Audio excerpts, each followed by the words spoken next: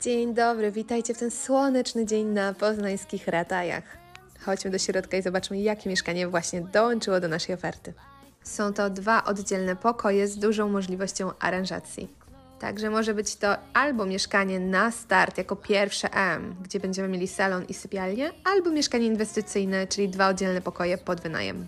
Widzieliśmy już większy z bezpośrednim wyjściem na balkon, a tutaj mniejszy. Jak widzicie, żaden z nich nie jest przechodni i do każdego dostaniemy się z korytarza.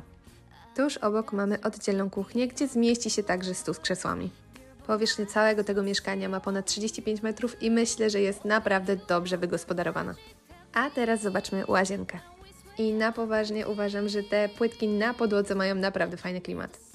I tak jak już widzieliśmy, mieszkanie to nadaje się do odświeżenia, ale myślę, że można z tego stworzyć naprawdę niesamowitą perełkę.